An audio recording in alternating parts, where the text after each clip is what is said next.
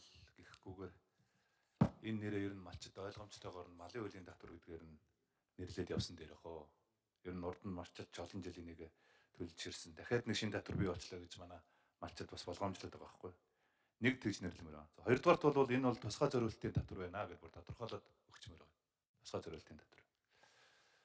Ер нь бол одоо ингээд манай бэлчээрээс булаацалдаж мөн хадлан дэжлээ булаацалдаж бие биенийхээ амнаас нь төрсэн ийм аимшигтэй гэмтэргүүд хүртэл гарч байгаа шүү дээ.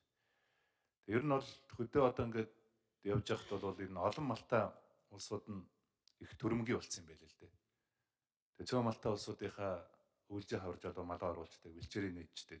Ямар ч зохицолт байхгүй нөгөө хүчтний өмнө хүчгүн буруутай гэж үлддэг нэг ийм л зүйл болчиход байна. Тийм учраас бол энэ малын хуулийнхаа татварыг малын хуулийн татвар гэж нэрлээд тусгай зориултын татвар байна. А энэ татвар нь бол яг малын үйлдвэр угсаа бэлчээр сэргээх, ходог ус гаргах, ногоон дижил, малын эрүүл мэндийн үйлчилгээнд сайжруулахыг зарцуулнаа гэдэг л ийм зориултуудын заагаад өгсөн дээр болов гэж бодож байна. Тэгэхгүй бол нөгөө манай малччин юу гэж ярьж байгаа нөхөр энэ татвар төлдөг. Энэ мөнгө маань нөгөө сумын төсвийн цорхойг бүгэлдэг ийм татвар болчих үү гэсэн нэг ийм болгоомжл байгаа байхгүй. Сумын засаг дарга нь машин аваад унжих үү. Сум дээр байгаа нөгөө тамгийн газрынхаа байруудыг засаад унах үү гэдэг ийм болгоомжл байгаа учраас энийг бол зориултын одоо тусгай зориултын татврын байна гэдгийг л маш малчтад ойлгомжтой болох хэрэгтэй гэж би хэлхийг хүсэж байна. Ер нь ингэ зас залруулах хэрэгтэй байна. За хоёрдугаарт нь бол энэ малчтай холбоотой асуудал бол энэ малчтын насыг 5 насаар тэтгэврд гаргах энэ тогтолцоолыг бид нар шийдсэн. За одоо хөдөөд ямар асуудал үүсчихэд байна вэ гэхээр энэ ажилласан жил нийгмийн даатгалын шимтгэлийн нөхөн даатгах тухай хуулийн хэрэгжилт энэ 12 сарын 31-нд дуусгар болж байгаа. А гэтэл энэ жил одоо манай малчтын маань орлого нэлээд муу байсан. Энэ бүгдээрээ мэдж байгаа. Ноолор үн ямар байсныг мэдж байгаа. Өнөөдөр махан арьс шир дайвар бүтээгдэхүүн баг үндсэндээ хог болол ингээд хийсэд жалгагуугаар хийсэл ингээд байж байгаа шүү дээ. Хайчдаг болсон байж.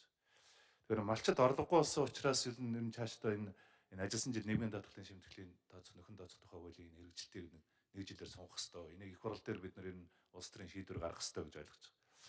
За энэ дээр бас малчид яг юу ярьж байгаа нөхөр их тодорхой бас хүлээгээд авчиж болох нэг юм саналыг яриад байгаа юм л да хөрлөтөр сайдаа. Юу гэхээр энэ хөдөлмөрийн хөлсний доод хэмжээний дотоод тэнцэх 10% тө тэнцэх гэхээр нэг 42 мянган төгрөг. Тэгээд жилийн нэг жилиг бол нэг 504 мянган төгрөг худалдаж авч байгаа байхгүй. Тэгээд дунджаар бол нэг 3-аас 5 жил худалдаж авах тухай ийм нөхцөл байдал үүсэж байгаа юм байна. За тэгэхээр манай малчид ерөнхийдөө ямар санал тавьж байгаа нөхөр бид нар тэр худалдаж авах байгаа нөхөж авах байгаа ажилласан жил нөхөн нөхөн тооцох нийгмийн даатгалын шимтгэл нөхөн тооцох байгаа энэ жилээ тухайн жилийнхаа хөдөлмөрийн өсний доод хэмжээтэй тэнцэх тэр хэмжээтэй л байвал яасан юм бэ гэж. Одоо 95-аас 2000 оны хоорондох 5 жилийг худалдаж авах нөхцөл үүсгэхэд тухайн жилийн хөдөлмөрийн өсөлтөд одоо уялдуулах юм шаардлага.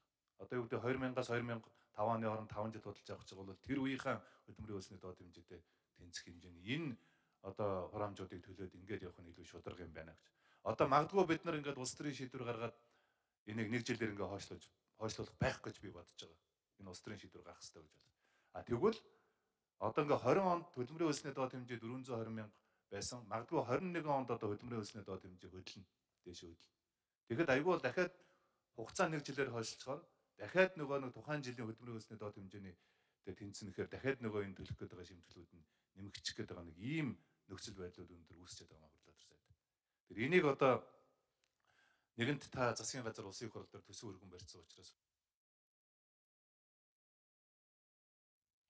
За сангийн сайд хөрөл отор хариулъя. А санал. За. За дараагийн Лувсанц Бадмаа Нямбугийн Батэрдэн